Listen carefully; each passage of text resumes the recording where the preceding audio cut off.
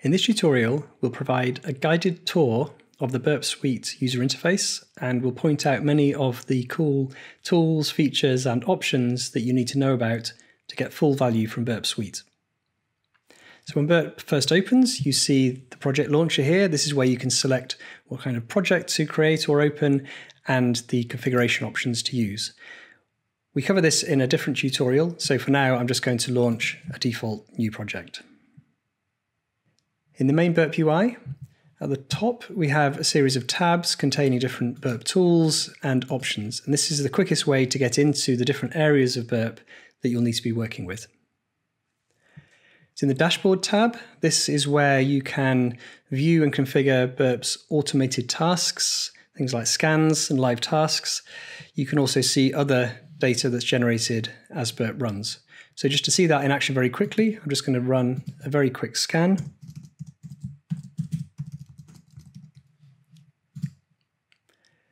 Kicking off that scan opens the task. It creates this entry on the dashboard and we can see details of the scan as it progresses.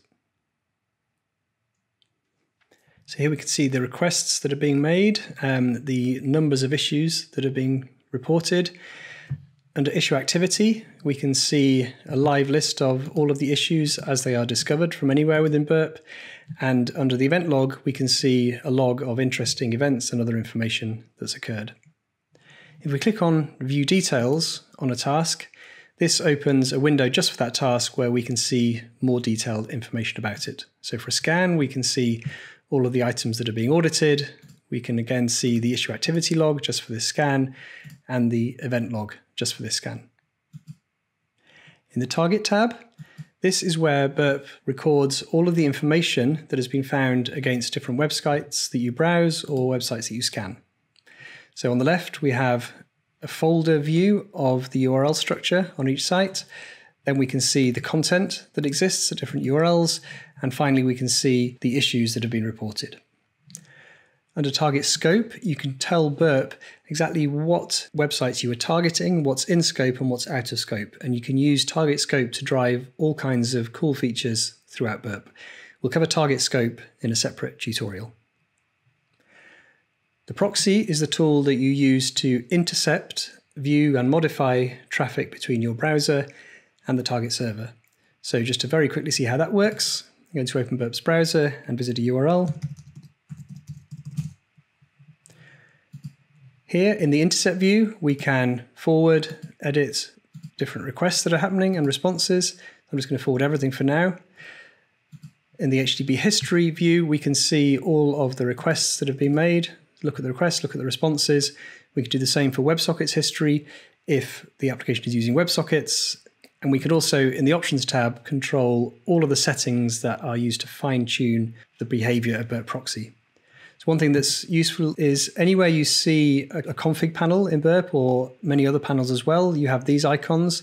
If we click on the question mark, we get some immediate contextual inline documentation for the feature that we're looking at. And if you click on the gear icon, this is where you can load or save the options just from this panel, or you can just restore defaults if you need to.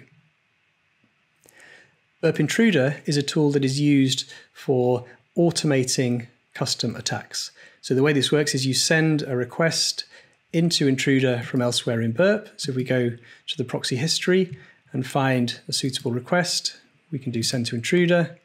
This opens a new tab in Intruder just for this request. We can configure the target, details of where we want payloads to go, and details of the payloads themselves. We'll cover how to use Burp Intruder in a separate tutorial. Burp Repeater is used to reissue an individual request and modify it and send it again over and over. So if we do the same, if we send a request to Burp Repeater, here the request appears, we can edit it, we can click send, and we can see the response. Again, Burp Repeater is covered in a separate tutorial.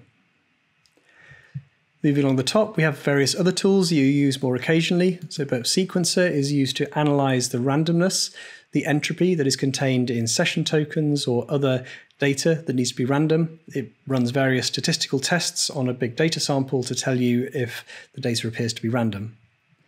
Burp Decoder is used to decode and encode data in various formats. So if you run into data that is URL encoded, HTML encoded, base64 encoded, you can work with it here. Burp Comparer is used to do a word or byte level comparison between different items of data. So, for example, if you have two big responses that are very similar and contain some minor differences, you can send them to Burp Comparer and it will highlight exactly where the differences are.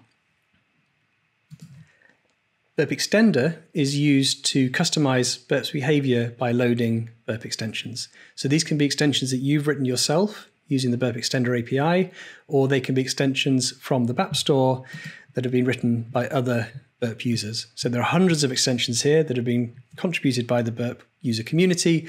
These are used to enhance Burp's behavior in all kinds of ways. So it's really worth playing with some of these. Under project options, we have numerous categories of option that affect how Burp will work in relation to the current project. So project options are saved in your project file. If you're using a project file, you can save them in config files and load them again. We cover that in a separate tutorial. But all of these settings are divided into separate areas covering network connections, HTTP, TLS, session handling, and some other areas. Under user options are a different set of options that are more around your own installation of Burp and how you want it to behave, which aren't tied to particular projects. So some interesting options here under display. This is where you can configure font size of your interface and whether to use a dark theme or a light theme. So Burp will support both flavors of interface according to your preference. Under miscellaneous, you can configure hotkeys. So Burp supports tons of hotkeys for different common actions, and this is where you can configure those. There are many options that are hotkeyable, which don't have a hotkey assigned by default, and you can define one here if it's an action that you use a lot. It's worth noting that there are some options which can be defined at the user level and at the project level. So if you take, say, upstream proxy servers, if you're working on a penetration test for a particular client engagement, you might be on their network and need to configure a certain proxy server. You would do that under project options and configure that here by overriding the user options for this project. Whereas if you have a proxy server on your home network that you use by default, anytime you're there, you can set it here in user options, and that will be the one that is used if you don't override it. You can use the context menu within Burp everywhere. Everywhere you see an entry in a table, or anytime you see an individual HTTP request, you can use the context menu to access all kinds of actions. So you can send just this request to be scanned with a passive scan, active scan, or a configurable scan. You could send it to individual Burp tools to drive additional testing workflows. You can view it in your browser. You can use various engagement tools for common purposes. So if you want to know other locations that link to a particular URL, particular request, you can use find references. You can use content discovery where Burp will use big word lists to try to discover content beneath a URL that isn't necessarily linked. You can schedule tasks. You can create a CSRF POC, do various other things. In the menu bar at the top of the Burp UI, we have various other options. So on the Burp menu, we can do a search. This will search through all of the data in different Burp tools for items that match a particular expression. You can access Burp's configuration library. This is where you can maintain your own config files for different purposes or access various built in configurations that come with Burp. Under user options, you can restore defaults for all of your user options, or you can save your current user options to a config file or load it back later. Also on the Burp menu, we have various other tools that you will use occasionally. So Burp Infiltrator is an IAST tool that can be used to instrument an application that you plan to scan so that you can see inside the application as it's running and get a lot more in- interesting information about it and find some dangerous code paths where your payloads might be hitting a vulnerability. Burp ClickBandit is a tool for generating clickjacking attacks. So the way this works is you copy the ClickBandit script into your browser and you then walk through the sequence of actions that you want a victim to execute and ClickBandit will generate a proof of concept clickjacking attack. Burp Collaborator Client lets you work manually with Burp Collaborator payloads. You can use this to generate Burp Collaborator payloads, copy them to your clipboard. You can then use them in your own attacks, sending requests through Burp Repeater or as payloads in Burp Intruder or anything like that. And then you can poll for collaborator interactions to see the results of using those payloads. We'll cover Burp Collaborator and the Burp Collaborator client in a separate tutorial. In the project menu, you can also as for user options, you can restore defaults for project options. You can save them to a config file or load them back. You can save a copy of your project. So if you've started work in a temporary project, you decide you want to save it, you can save it to a project file. Or if you're already working on a project file, you can save a copy. There are some menu options for the intruder and repeater tools, which we'll cover in separate tutorials. In the window menu, you can detach individual burp tools float them out as a separate window if you want to arrange your UI that way. As well as detaching and reattaching individual tools, you can reorder the top level tabs if you prefer them to be in a different sequence. In the help menu, you can access Burp's documentation, getting started help. You can go to the support center. You can see diagnostic information about your installation if you're experiencing any problems. If the embedded browser is not working correctly on your platform, you can run the health check to find out why.